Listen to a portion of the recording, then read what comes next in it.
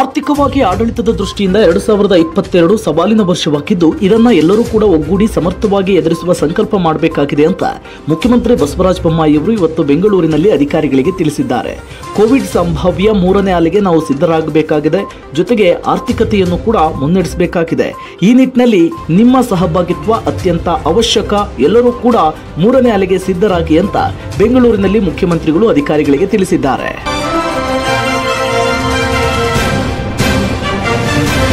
ಇತ್ತೀಚೆಗಷ್ಟೇ ಹುತಾತ್ಮರಾದ ಸೇನಾಪಡೆಗಳ ಮುಖ್ಯಸ್ಥ ಬಿಪಿನ್ ರಾವತ್ ಅವರಿಂದ ಹೆಲಿಕಾಪ್ಟರ್ ಪಥನದ ತನಿಖಾ ವರದಿಯನ್ನು ಮುಂದಿನ ವಾರ ಸರ್ಕಾರಕ್ಕೆ ಸಲ್ಲಿಸುವ ಸಾಧ್ಯತೆ ಇದೆ. ಡಿಸೆಂಬರ್ ಎಂಟರಂದು ತಮಿಳುನಾಡಿನ ಕುನ್ನೂರಿನಲ್ಲಿ ಸಂಭವಿಸಿದ ಹೆಲಿಕಾಪ್ಟರ್ ದುರ್ಘಟನೆಯಲ್ಲಿ ಸೇನಾಪಡೆಗಳ ಮುಖ್ಯಸ್ಥ ಬಿಪಿನ್ ರಾವತ್ ಸೇರಿ ಹದಿಮೂರು ಮಂದಿ ಹುತಾತ್ಮರಾಗಿದ್ದರು. ರಾವತ್ ಅವರು ಕೊಯಮತ್ತೂರು ಬಳಿಯ ಸಲ್ಲೂರಿನಿಂದ ವೆಲ್ಲಿಂಗ್ಟನ್ನಲ್ಲಿರುವ ಡಿಫೆನ್ಸ್ ಟಾಪ್ ಕಾಲೇಜಿಗೆ ತೆರಳುತ್ತಿದ್ದಾಗ ಈ ದುರ್ಘಟನೆ ಸಂಭವಿಸಿತ್ತು.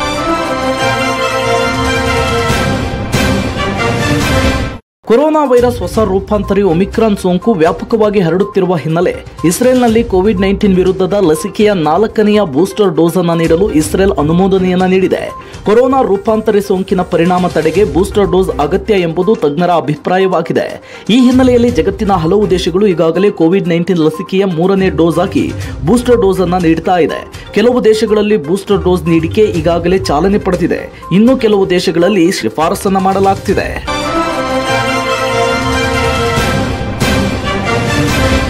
ದಕ್ಷಿಣ ಆಫ್ರಿಕಾ ಪ್ರವಾಸದಲ್ಲಿರುವ ಟೀಂ ಇಂಡಿಯಾ ಏಕದಿನ ತಂಡಕ್ಕೆ ಕನ್ನಡಿಗ ಕೆಎಲ್ ರಾಹುಲ್ ನಾಯಕನಾಗಿ ಆಯ್ಕೆಯಾಗಿದ್ದಾರೆ. ಈ ಮೂಲಕ ಟೀಂ ಇಂಡಿಯಾದ ಭವಿಷ್ಯದ ಕಾಯಂ ನಾಯಕತ್ವಕ್ಕೆ ರಾಹುಲ್ ಸಜ್ಜಾಗುತ್ತಿದ್ದಾರೆ.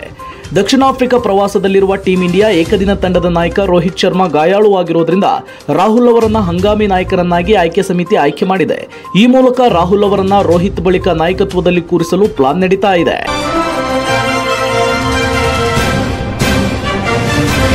ಮುಖ್ಯಮಂತ್ರಿ ಬಸವರಾಜ ಬೊಮ್ಮಾಯಿ ಅವರು ಕೋವಿಡ್ ಪರಿಹಾರವಾಗಿ ಒಂದು ಲಕ್ಷ ರೂಪಾಯಿ ಹಣವನ್ನು ನೀಡ್ತಾ ಇದ್ದಾರೆ. ನಾನು ನಿಮಗೆ ಹತ್ತು ಸಾವಿರ ರೂಪಾಯಿ ಹಣವನ್ನು ನೀಡ್ತೇನೆ. ಮುಂದಿನ ಬಾರಿ ಚುನಾವಣೆಯಲ್ಲಿ ನನಗೆ ವೋಟ್ ಹಾಕಬೇಕು ಅಂತ ಆಣೆ ಪ್ರಮಾಣ ಮಾಡಿಸಿಕೊಂಡಿರುವಂತಹ ಹೊನ್ನಾಳಿ ಶಾಸಕ ರೇಣುಕಾಚಾರ್ಯ ಅವರ ವಿಡಿಯೋ ಒಂದು ವೈರಲ್ ಆಗಿದೆ. ಕೋವಿಡ್ನಿಂದ ಮೃತಪಟ್ಟ ಕುಟುಂಬದವರಿಗೆ ಕಳೆದ ವರ್ಷ ಮಾಜಿ ಮುಖ್ಯಮಂತ್ರಿ ಬಿಎಸ್ ಯಡಿಯೂರಪ್ಪನವರು ಒಂದು ಲಕ್ಷ ರೂಪಾಯಿ ಪರಿಹಾರವನ್ನು ನೀಡುವುದಾಗಿ ಘೋಷಿಸಿದ್ರು. ಅದರಂತೆ ಇದೀಗ ಬಸವರಾಜ ಬೊಮ್ಮಾಯಿ ನೇತೃತ್ವದ ಸರ್ಕಾರ ಒಂದು ಲಕ್ಷ ರೂಪಾಯಿ ಹಣವನ್ನು ನೀಡ್ತಾ ಇದೆ. ಈ ಹಣವನ್ನು ರಾಜಕೀಯ ಲಾಭಕ್ಕೆ ಬಳಸಿಕೊಂಡ ಶಾಸಕರ ವಿರುದ್ಧ ಆಕ್ರೋಶ ವ್ಯಕ್ತವಾಗ್ತಾ ಇದೆ.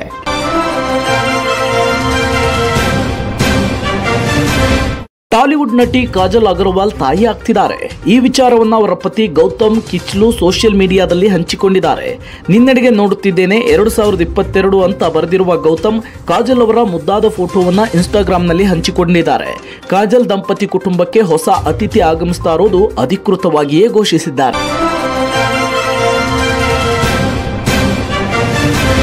ತಮಿಳುನಾಡಿನಲ್ಲಿ ಭಾರಿ ಮಳೆಯಾಗುವ ಬಗ್ಗೆ ಮಾಹಿತಿ ನೀಡುವಲ್ಲಿ ಹವಾಮಾನ ಇಲಾಖೆ ವಿಫಲವಾಗಿದೆ ಅಂತ ಆರೋಪಿಸಿ ಕೇಂದ್ರ ಗೃಹ ಸಚಿವ ಅಮಿತ್ ಶಾ ಅವರಿಗೆ ತಮಿಳುನಾಡು ಮುಖ್ಯಮಂತ್ರಿ ಎಂಕೆ ಸ್ಟಾಲಿನ್ ಪತ್ರವನ್ನು ಬರೆದಿದ್ದಾರೆ. ತಮಿಳುನಾಡಿನಲ್ಲಿ ಧಾರಾಕಾರವಾಗಿ ಸುರಿದ ಮಳೆಯಿಂದಾಗಿ ಭಾರೀ ಅನಾಹುತ ಸಂಭವಿಸಿದೆ. ಈ ಬಗ್ಗೆ ರಾಜ್ಯ ಸರ್ಕಾರವನ್ನು ಎಚ್ಚರಿಸುವಲ್ಲಿ ಭಾರತೀಯ ಹವಾಮಾನ ಇಲಾಖೆ ವಿಫಲವಾಗಿದೆ ಅಂತ ಪತ್ರದಲ್ಲಿ ದೂರಿದ್ದಾರೆ.